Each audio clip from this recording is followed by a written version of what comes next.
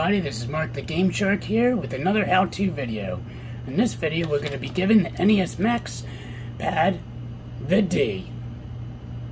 Yeah, I mean, uh, D-pad. Get head out of the gutter. So, I don't know if I'm going to jump cut there. Probably not. I like how it's awkward pauses think I'm going to jump cut. But yeah, so we have an NES Max controller. And on eBay, I got a 3D printed D-pad. So it's just going to replace this annoying piece of junk. So basically, it's really simple. For me, I just use contact cleaner, alcohol, Q-tips, small number one Phillips head screwdriver, and the wrong screwdriver. Wait, how'd that get in there? Go away.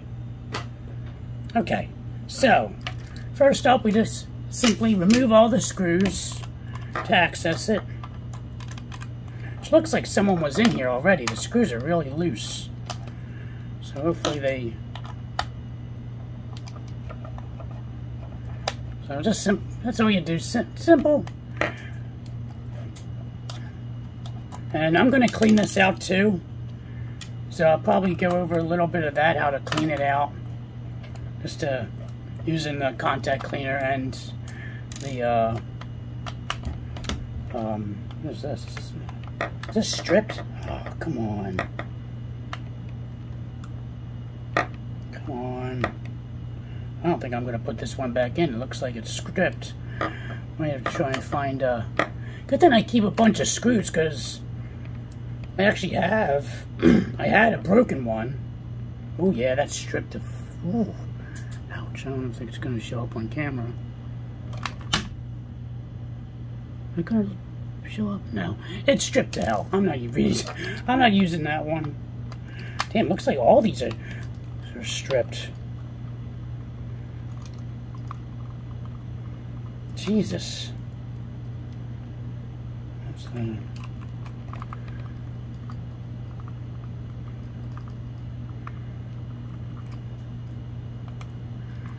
Come on.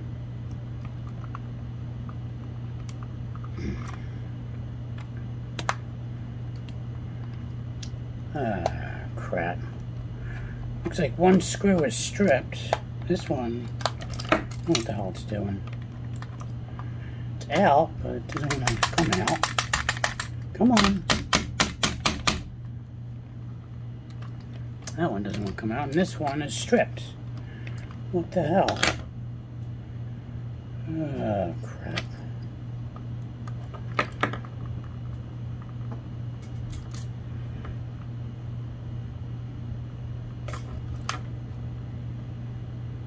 Let me try.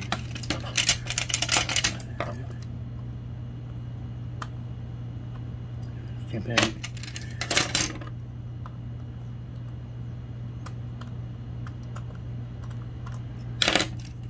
Damn.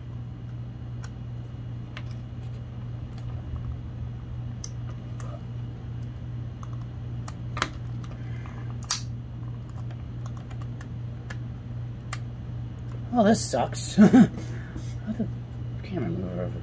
Piece of shit. Alright, sorry for that jump cut, guys. Um, had to do some drastic measures with the screws, because, uh, yeah, two of the screws were stripped, and then this screw right here, the plastic piece broke off.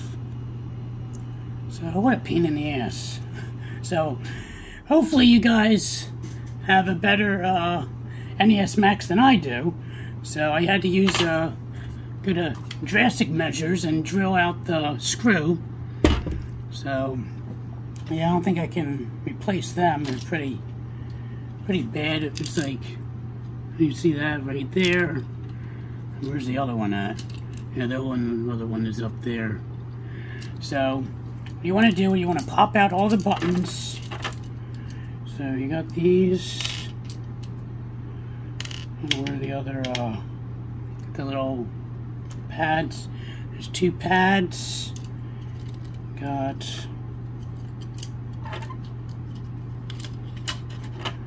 hmm, got start and select. Take them out. Got A and B, and the A and B turbo. Okay. Whew. So, now, this is, now what I want to do is I want to try and, uh, because it's kind of like off center. What's there hair on it? It's kind of off center. It's not a, it's not even, as you can see. See how it's like, this is longer than that. This side's longer than this side right here. So what I want to do is try to like make sure it's the same exact uh, way as this one. So I lift this out straight up. So it looks like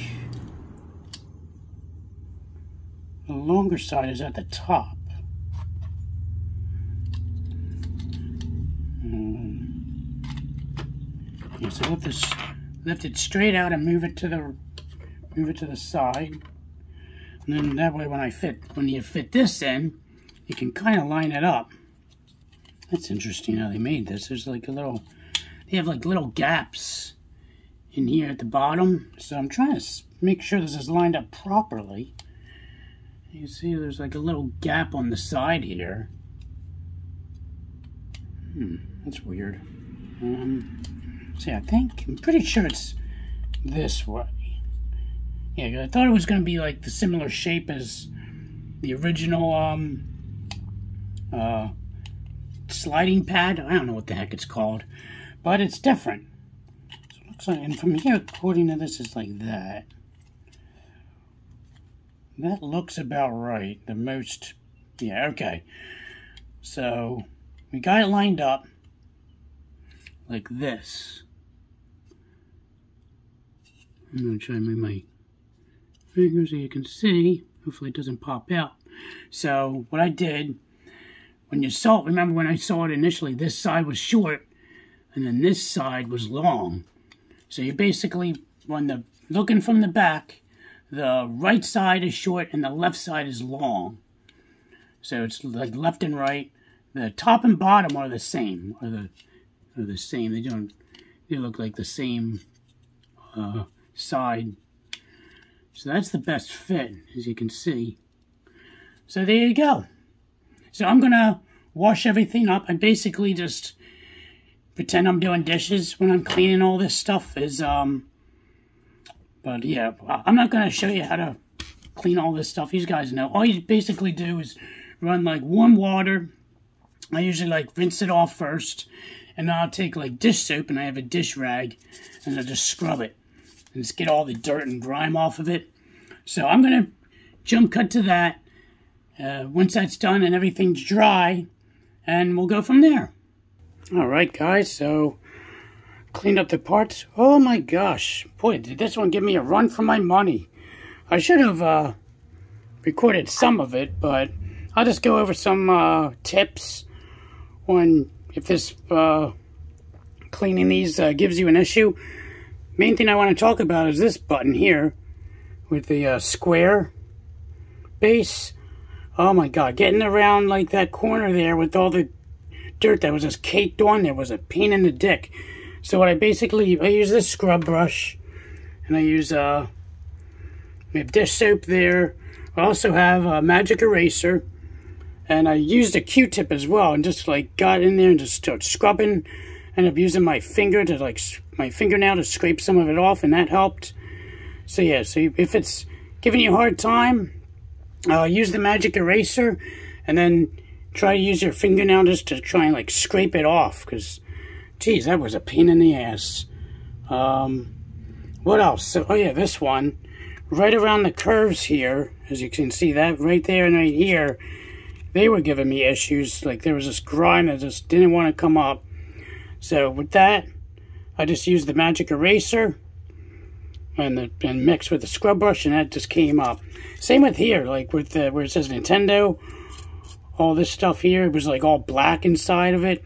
I just scrubbed it with the magic eraser and then followed it up with the regular dish scrub brush. And yeah, um, this part, this is the only part I couldn't get. There's like a little dot there. I don't know what the hell that is, but it's not coming up. so, so, yeah, there it is. I'm just going to wait for it to dry and we'll uh, assemble it. I will also recap how to install the D-pad as well. So let's go back to the to the bench. Alright guys, I'm back. I got everything scrubbed, everything's clean. Uh, one thing I forgot to mention in the uh, when I sh showed you like tips of how to clean it, I forgot these these little inside the circle here. They need to be cleaned. Um, I've I scrubbed in. It's hard to scrub inside there. So what I did as it was wet, like all the grime was still like kind of like I guess soggy from the water. So I basically just went in with a Q-tip and I just did like this, just cleaned it out and just attached to the Q-tip and it, that's how I clean that. I cleaned inside these holes here. Same with the little start and select were fine. It was just mainly these four holes for the A, B, and the uh, turbo buttons. So I just wanted to point that out before I forgot. I, of course, I forgot when I was, as I was making, I was like, oh crap, there's still dirt there. I was like, that's not good. I'm like telling him, oh yeah, it's clean. No, it's not. It still looks like shit. Um, so let's recap. So when you put it in the back, the left side, the you have uh, basically the one. I I would say like the sides that stick out. You have one, two, four sides that stick out. So the same sides are at the top and bottom. The left side is the longer side, and the right side is the short one. So that's how you want to fit it in. So there's that. Um, one thing I also noticed, which I'm surprised I didn't hear rattling around or, or found it, you see these, they have these like little pegs here that hold the um, pad in place. Well, this one, don't know if you see it, this one's broken off. So it should be fine. I mean, I'm still debating. I mean, I'm, I'm gonna, I'll hook it up and test it, but it should be okay. I don't think it's gonna be that big of a deal. I mean, heck, I'm I'm going out with three with three screws less in this damn thing, so it better work. so, all right, next step: take the circuit board and I base and your contact cleaner, and I just I just squirt it. So I'm trying to move the camera so you can see. Just just do this, squirt it. There you go, and flip it around.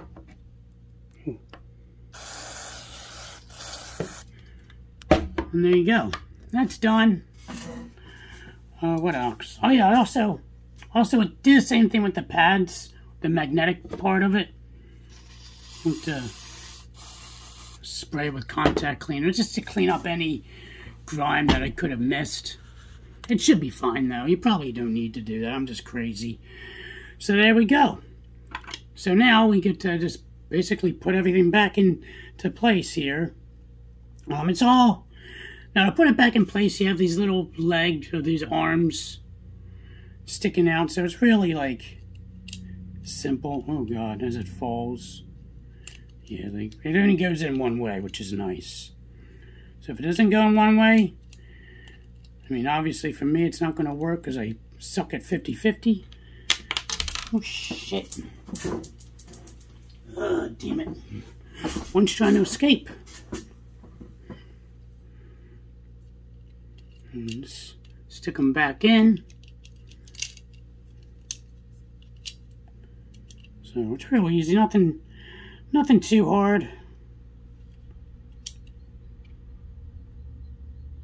Oh yeah, see there's, eh, there's I find out there's, there's some little bit of grime still on these on the bottom here. So what I'll do, I'll just take a Q-tip with alcohol and just rub it at the bottom just to get it up like that. I don't know if that's going to focus. Can sort of see, whatever. you know what dirt looks like. It's not that, oh, there's dirt. Man, these are a real pain in the ass to clean 100%. Jesus Christ. Fuck they make this shit? How do they get so gross? Who's, like, I want to know what hands to touch these, and I want to, like, chop the person's hands off. Like, dude, your hands are gross. You don't even belong in society. Gross ass hands. Jesus Christ. Are you playing fucking Mega Man? Like, all sweaty hands, like, oh my god. I'm a Dr. Wily. I've one life left. Took me nine hours to get here.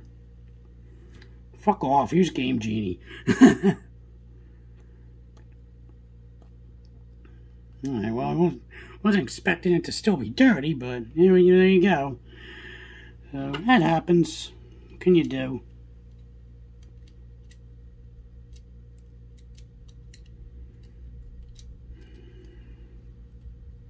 Alright, come on, get in there.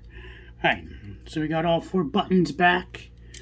Um, I'm going to use my tray to kind of like hold it up so it doesn't pop out. There we go. So hold it in place. I think these are the same. Yeah, the start and select are the same. Doesn't matter which one you put them, which one you put in where. So they just slide in like, like so. There you go. I'm trying to try and angle it so they don't pop out. So yeah, so they're done. And we got the our new D-pad in. Now we just put these guys back. It's real simple. Magnet side facing up.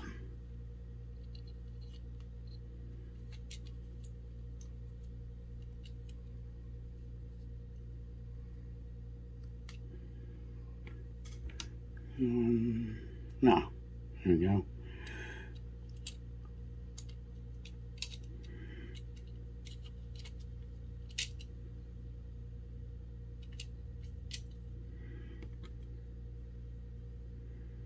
Where does this one go?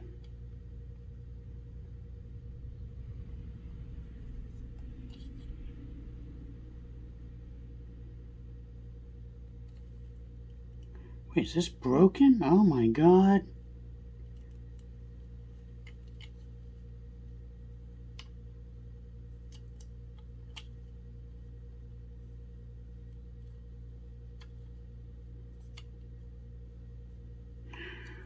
Mm, well, that's interesting.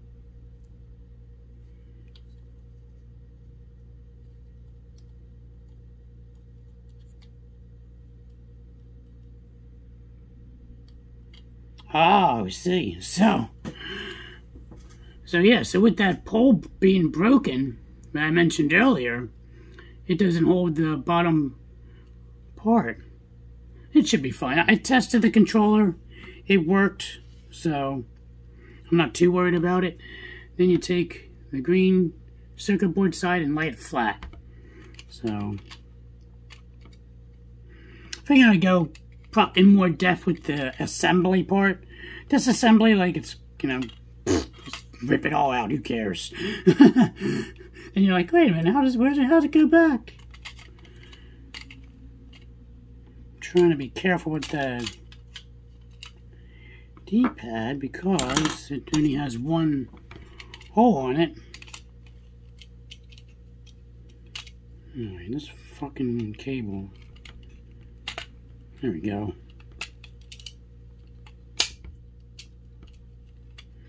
And lift it up a teeny bit.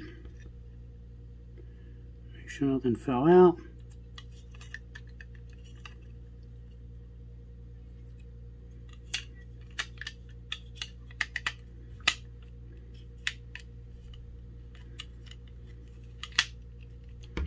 And there we go. It's all in.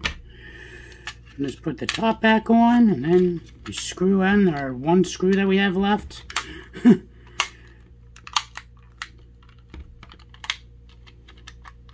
Just not going in.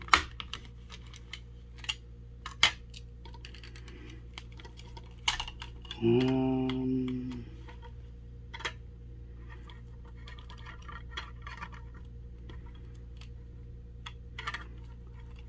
this is giving me a hard time today.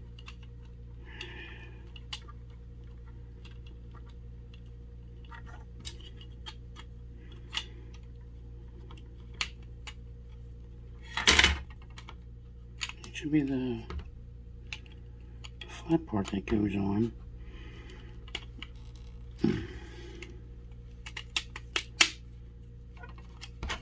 Again, pain in the ass. There we go. Jesus. Why is this? Oh, that's because of that damn screw. That's why that's, oh, that's why. So yeah, so there's a little gap right there because that has the bad screw. Uh, I really should have done this with a better uh, NES Max controller. But, eh, what can you do? Make it work, I guess.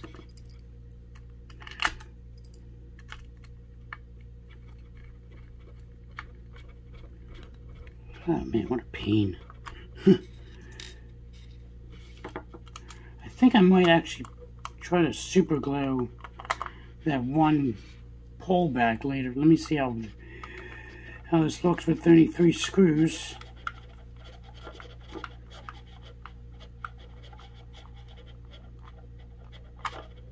I don't know how they strip these screws anyway. Like, what are they doing?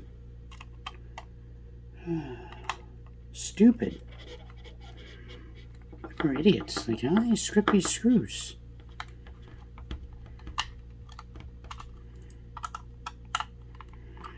Well, that was, uh, that definitely gave me a run for my money. So there you have it.